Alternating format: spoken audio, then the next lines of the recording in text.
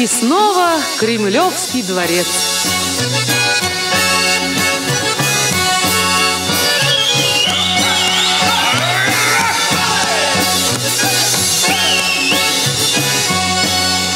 Сережу из